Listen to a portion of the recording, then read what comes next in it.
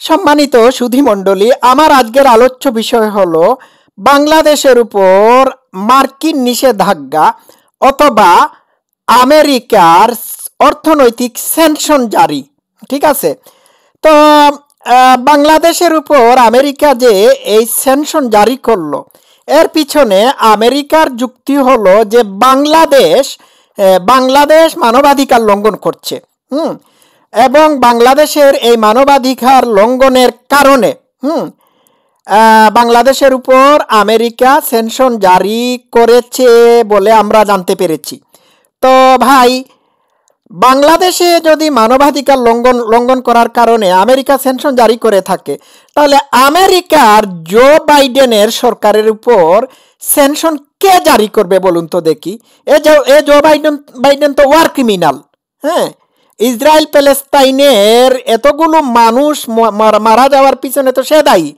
সে তো ইসরায়েলকে অনুদান দিয়েছে টাকা পয়সা দিয়ে সাহায্য করেছে, অস্ত্র বিক্রি করতেছে। এবং সে নিজেও একজন একজন রাষ্ট্রপ্রধান যে অগণতান্ত্রিক উপায়ে নির্বাচিত হয়েছে। ভোট চুরি আই মিন ভোট চুরির মাধ্যমে নির্বাচিত হয়েছে। তো তার উপর সেনশন কে জারি করবে বলুন তো দেখি। সে একাই পৃথিবীর বিভিন্ন দেশের উপর সেনশন জারি করবে। এটি একটি কথা হয়। আচ্ছা আমি সেই দিকে না হয় না গেলাম। বাংলাদেশের উপর যে আমেরিকা সেনশন জারি করবে, এই সেনশন জারির ব্যাপারটি বাংলাদেশ ভালো করেই জানে। গেল দেড় বছর যাবৎ বাংলাদেশ এই চ্যালেঞ্জ মোকাবেলার জন্য প্রস্তুতি নিয়ে আসতেছে এবং অলরেডি প্রস্তুতি নিয়ে ফেলেছে। সুতরাং এই সেনশন জারি করলে বাংলাদেশ যে এটিকে মোকাবেলা করতে সক্ষম হবে, সেই ব্যাপারে আমি কোনো সন্দেহের অবেকা- অবকাশ রাখি না। আমি কীভাবে মোকাবেলা করবে, আমি আমার এই আলোচনায় ব্যাখ্যা বিশ্লেষণ করব, খানিকটা ব্যাখ্যা বিশ্লেষণ করব। দেখুন, বাংলাদেশের সাথে ভারত, রাশিয়া এবং চীনের ভালো সম্পর্ক রয়েছে, ঠিক আছে? রাশিয়া একটি হচ্ছে পরাশক্তি রাশিয়া হচ্ছে অন্যতম একটা পরাশক্তি। আর ভারতের তো বিশ্বের উপর বিভিন্নভাবে প্রভাব আছে। ভারতের সাথে বাংলাদেশের সম্পর্ক খুবই ভালো, হুম? অর্থনৈতিক ক্ষেত্রে বাংলাদেশ, ভারত উভয়ে, উভয়ের উপর নির্ভরশীল। আচ্ছা তো একটু পিছনের দিকে যাই। নাইনটিন সেভেন্টি টুতে বাংলাদেশকে আমেরিকা হ্যাঁ কি করে না মানে বাংলাদেশকে আমেরিকা রাষ্ট্র হিসাবে স্বীকৃতি দেয়। হ্যাঁ উনিশশো পঁচাত্তর সালে চীন বাংলাদেশকে স্বীকৃতি দেয়, কিন্তু দুই দেশই বাংলাদেশকে নাইনটিন সেভেন্টি ওয়ানের স্বাধীনতা যুদ্ধে যুদ্ধে সমর্থন করে নাই। তো চীনের সাথে রিসেন্টলি বাংলাদেশের সম্পর্কের উন্নয়ন হয়েছে। গত বায়ান্ন বছর ধরে হ্যাঁ ওয়াশিংটন এবং ঢাকার মধ্যে বহুমাত্রিক উপায়ে বা বহুমাত্রিকভাবে বাংলাদেশ মানে সম্পর্কের উন্নয়ন হয়েছে। কিন্তু কম সময়ের ভিতর চীনের সাথে বাংলাদেশের সম্পর্কের উন্নয়ন চুকে পড়ার মতো হ্যাঁ?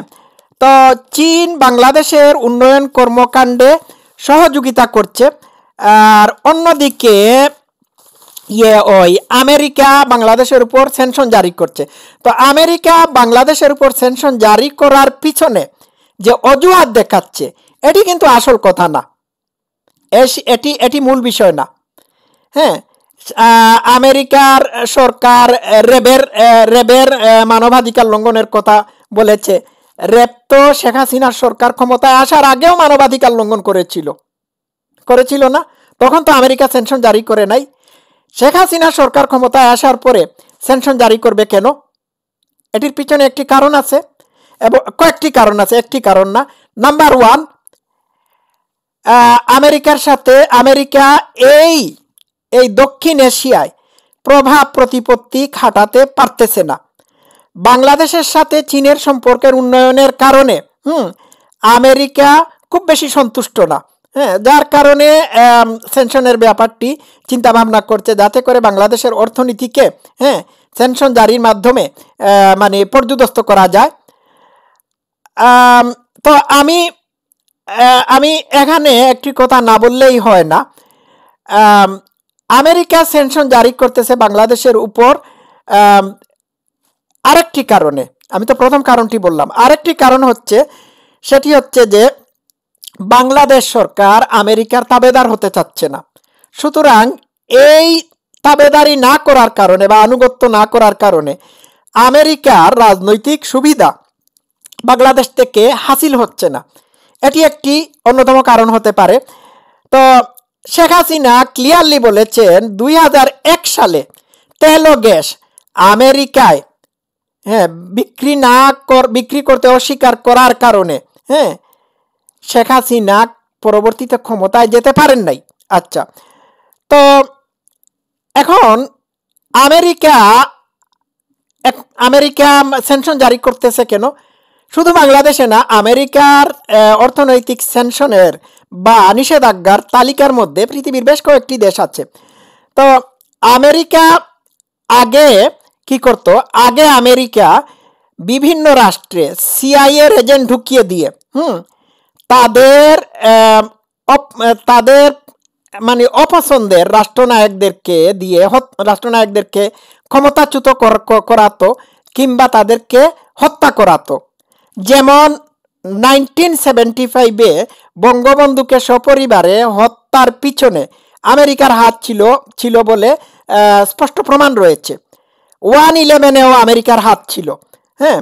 তো সিআই, আমেরিকা সিআইয়ের মাধ্যমে এখন পৃথিবীর বিভিন্ন রাষ্ট্রের রাষ্ট্রপ্রধানকে মানে হত্যা করার বিষয়টি থেকে সরে এসে ভিন্ন পথ অবলম্বন করেছে, সেটি হলো সেনশন জারি করা। তো এই সেনশনের তালিকায় বাংলাদেশ আছে, বাংলাদেশের উপর সেনশন জারি করার ঘোষণা দিয়েছে।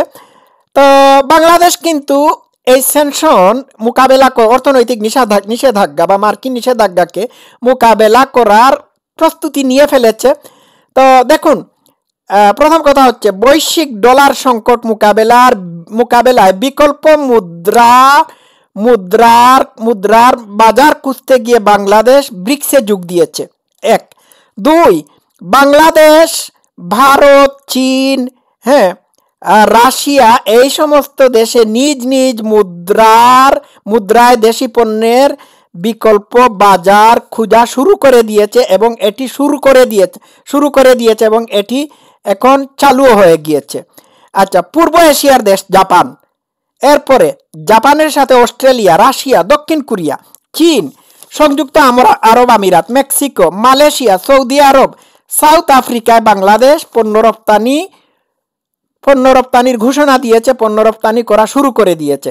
জাপান ও ভারতের সহযোগিতায় বাংলাদেশের অর্থনৈতিক উন্নয়নকে শক্তিকার শক্তিশালী করার চেষ্টা করা হচ্ছে। তো, বাংলাদেশ আমেরিকার আমেরিকার বাজার খোয়ালে পরেও হ্যাঁ পৃথিবীর বিভিন্ন দেশে বাজার ক্রিয়েট করতেছে। হুম, সুতরাং এটি নিয়ে ভয়ের কোনো কারণ নাই। একটা কথা মনে রাখবেন আপনারা, করোনার সময় পৃথিবীর বিভিন্ন দেশের ন্যাশনাল জিডিপি যখন নিম্নের দিকে যাচ্ছিল, বাংলাদেশের ন্যাশনাল জিডিপি তখন স্টেবল ছিল। হ্যাঁ এর কোনো অবনতি হয় নাই। ইভেন ইংল্যান্ডেরও ন্যাশনাল জিডিপি ভারতের, ইংল্যান্ডের, পৃথিবীর বিভিন্ন দেশের ন্যাশনাল জিডিপি ডাউন হয়েছিল, কিন্তু বাংলাদেশের হয় নাই। হ্যাঁ একবার যে ইকোনমিক রিসেশন রিসেশন হয়েছিল, এই সময়ও বাংলাদেশ টিকে ছিল। মানে এটির মধ্যে সার্ভাইভ করেছিল।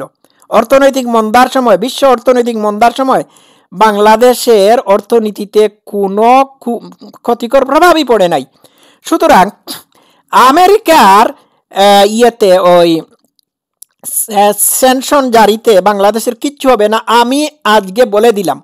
হ্যাঁ আগামী সাতই জানুয়ারি শেখ হাসিনা নির্বাচিত হবেন এবং আমেরিকার সেনশনকে তিনি কঠোর হস্তে মোকাবেলা করবেন। যে দেশ, যে দেশের সরকার নিজস্ব অর্থায়নে পদ্মা সেতুর মতো ব্রিজ করতে পারল, সেই দেশকে সেনশন জারি করে ঠেকানো অসম্ভব। আর আমেরিকা হচ্ছে একটি, আমেরিকার পররাষ্ট্র নীতি হচ্ছে খুবই জেলাস পররাষ্ট্রনীতি হুম? আমেরিকার উপরে আপনি মাথা ছাড়া দিয়ে উঠতে পারবেন না। বাংলাদেশের যে এই দ্রুত অর্থনৈতিক উন্নয়ন হচ্ছে, এটিও আমেরিকার একটা মাথা ব্যথার কারণ, হুম? তো সব কিছু মিলাইয়া বাংলাদেশ আমেরিকার কোনো অনুগত দেশ না। এটাই হচ্ছে আমেরিকার মাথা ব্যথার কারণ। তো আমি আগেই তো বলেছি হ্যাঁ আবার বলি। রেবের মানবাধিকার লঙ্ঘনের ইস্যুটি আমেরিকা নিয়ে এসেছে। তো এটি তো আমেরিকাকে জানানো হয়েছিল, আওয়ামী লীগ সরকার ক্ষমতায় আসার অনেক আগেই হ্যাঁ বিএনপির সময় জানানো হয়েছিল। তখন বিএনপি সরকার ক্ষমতায় থাকা, ক্ষমতাসীন থাকাকালীন আমেরিকা কেন মানে বাংলাদেশের উপর অর্থনৈতিক নিষেধাজ্ঞা আরোপ করে নাই? কেন মার্কিন নিষেধাজ্ঞা ছিল না বলুন তো দেখি। এটা বুঝতে পারলেই তো বিষয়টা ক্লিয়ার হয়ে যায়। ঠিক না? তো কোনো কাজ হবে না। আগামী সাতই অক্টোবর সরি সাতই জানুয়ারি হ্যাঁ বাংলাদেশ বাংলাদেশে নির্বাচন হবে। শেখ হাসিনা ক্ষমতায় যাবেন এবং আপনারা লিখে রাখুন যে বাংলাদেশে আমেরিকার মার্ক নিষেধাজ্ঞা, অর্থনৈতিক নিষেধাজ্ঞা, হুম সেনশন জারি। এইগুলো এটি এটি এটি এটি কাজ করবে না। আমি বলে দিলাম, আমার পলিটিক্যাল অ্যানালাইসিস ভুল হয় না। বুঝতে পেরেছেন? আপনারা আমাকে আমাকে বলবেন এক সময় এসে। হুম? তো আমেরিকা বলছে বাংলাদেশে সুষ্ঠু প্রক্রিয়া নির্বাচন হয় না। হ্যাঁ? আমেরিকায় কি সুষ্ঠু প্রক্রিয়া নির্বাচনের মাধ্যমে জো বাইডেন ক্ষমতায় এসেছে? সেও তো ভোট চুরির মাধ্যমে ক্ষমতায় এসেছে। ঠিক না? এগুলোর প্রমাণ আমাদের কাছে আছে। সুতরাং আপনি আচরি ধর্ম পরকে শিখাও। হুম? আর বিশ্ব মুডলগিরি আর চলবে না। ঠিক আছে? তো আজকে এই পর্যন্ত থাকুক। সবাই ভালো থাকবেন। Love you all